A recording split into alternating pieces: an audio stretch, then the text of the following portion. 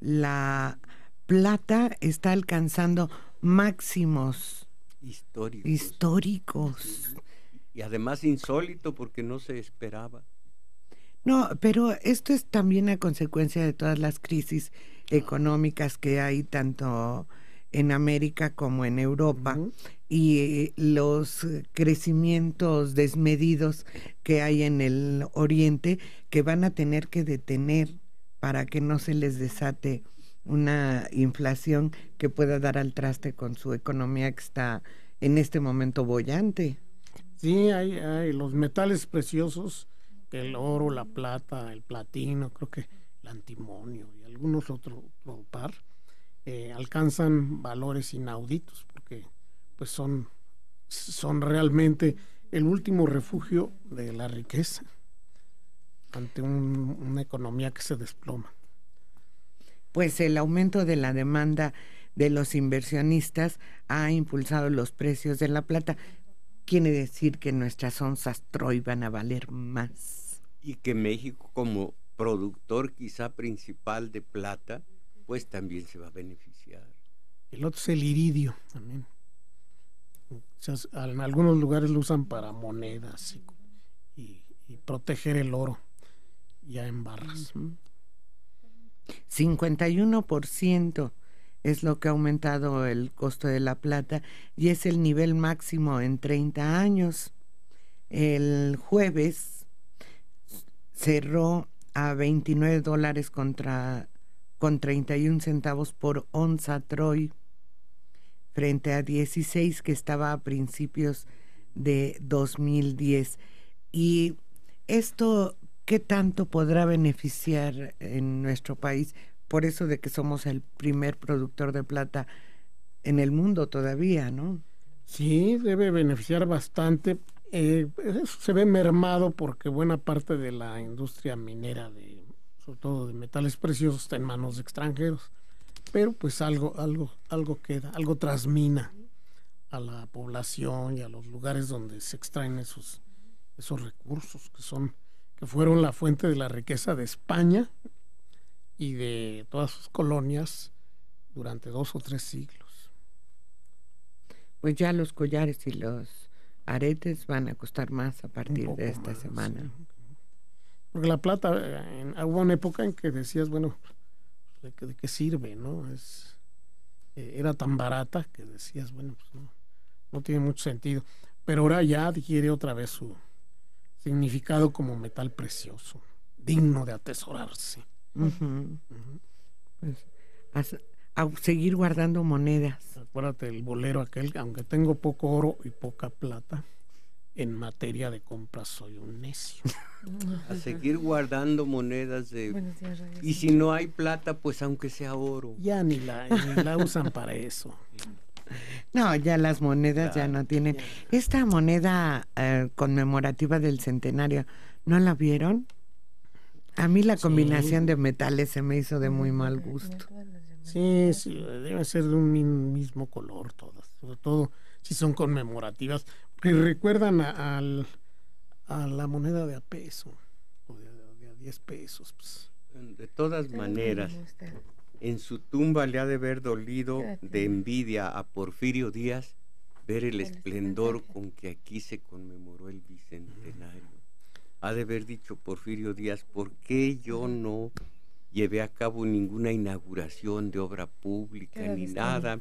Mi memoria mi memoria no perduró por el centenario porque no hice nada. En cambio, el bicentenario fue una sucesión de inauguraciones de obra pública que benefició mucho. ¿De qué país habla usted, perdón? No, es que creo que me está haciendo daño el agua con, con miel, porque me estoy imaginando que así pudo haber sido.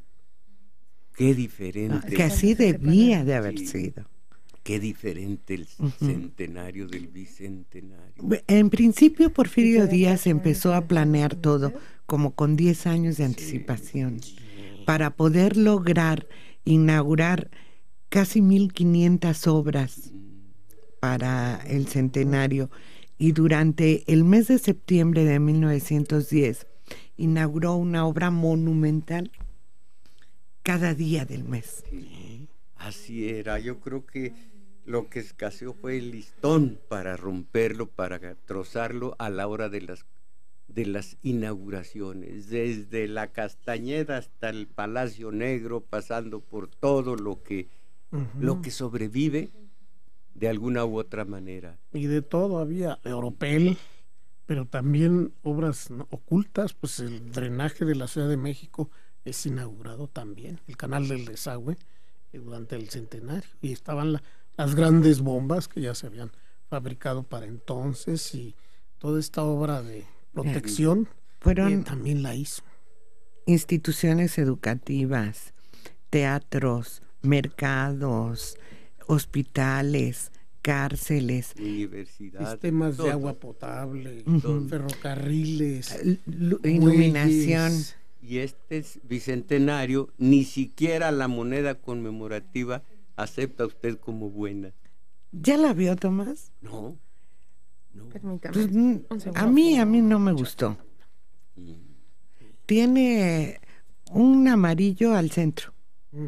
Después tiene un círculo plateado y luego una especie de cobre, ¿no?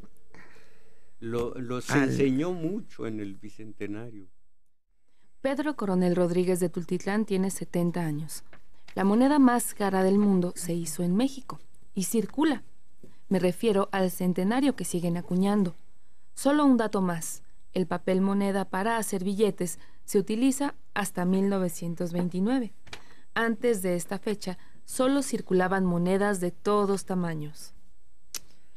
No, pero en, en plena época revolucionaria circulaban aquellos bilimbiques. o sábanas, unos les llamaban bilimbiques, eran muy grandes y y tenían una vigencia efímera según el carrancismo, el villismo, tomaban la plaza, esos bilimbiques ya no servían y quedaron como símbolo de lo, de lo transitorio y de lo que no tiene valor más que durante unos momentos. Entonces no se puede considerar como papel moneda, de hecho. El bilimbique, cada, es que cada eh, facción revolucionaria hacía su propio papel impreso, su propio papel moneda los bilimbiques y muy grandes las sábanas. Y los más célebres, por ser los más abundantes, todavía los encontramos, fueron los que emitió Pancho Villa en Chihuahua, donde estaba la imagen de Abraham González y de Madero, por un lado, y firmados por, por Chao. Buenos días, Radio Centro. Gracias, tesorero. Y, por todos lados había eso y cuando cae digamos la división del norte pues todo ese dinero deja de valer cualquier cosa. Y eso como colección no como papel moneda sino como parte de una colección sí tiene algún valor sí. sobreviven sobreviven sí. Sí yo lo he visto nada más en, en facsímiles pero ahí están las los bilimbiques muy aparte, el, el, que el compañero que mandó este recado se llama Pedro Coronel, como el espléndido ah. pintor zacatecano.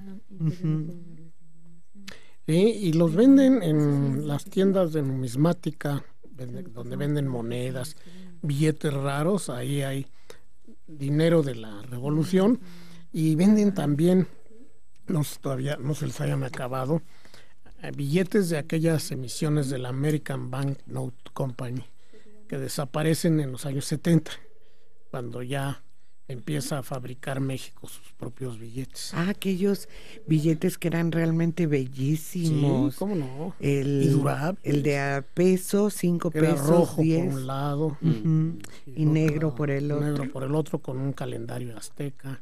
El de 10 que tenía la teguana. La teguana, el de 5 que tenía la gitana. Ah, una gitana adornada con medallitas en, la frente, sonriente. Y el de 20 que tenía el mercado de la Merced. Y creo que Allende o ese era el de 50. El de 50 que era azul. Ah, sí, sí, sí. Y además todo el garigoleo que tenía en sus contornos. Eran billetes muy La Tehuana tenía su leyenda.